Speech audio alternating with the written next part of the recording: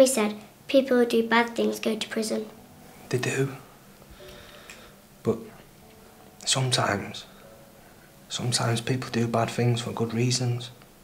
Like at school, when you ripped that girl's painting up in class, remember?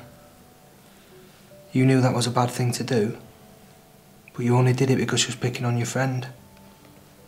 And even though you did it for a good reason, you still got into a lot of trouble for it, didn't you? Mummy grounded me. Yeah.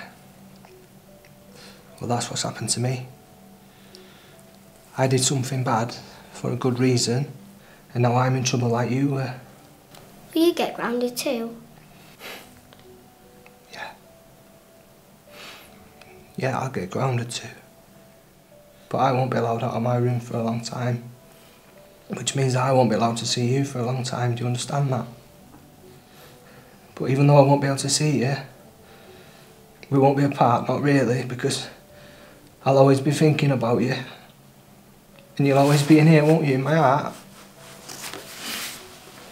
And I want you to look after your mummy for me.